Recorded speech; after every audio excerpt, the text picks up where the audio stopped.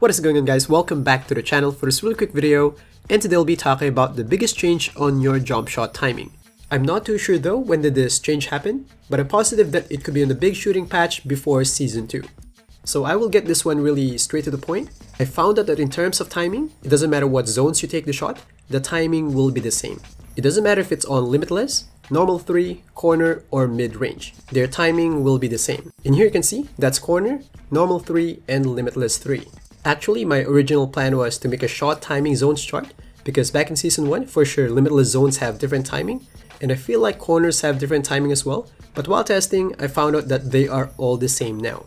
There's still a chance though that there's still a super super small difference in there, but it will be in a super small degree only to the extent that just by using the same timing on my motor controller, I can green on all these zones. Back in the first month, I remember that I have to reprogram my test controller if I will test on limitless range. It's clearly not the case now.